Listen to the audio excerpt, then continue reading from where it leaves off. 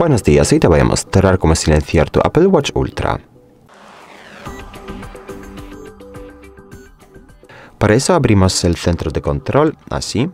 Y ahora eh, buscamos, bueno, eh, el icono eh, del sonido, ¿no? Y pulsamos el icono para activar el modo silencioso y pulsamos el icono de nuevo para desactivar el modo y lo podemos hacer también desde, el, desde ajustes. Entonces abrimos la aplicación ajustes y en ajustes buscamos la pestaña sonidos y vibraciones.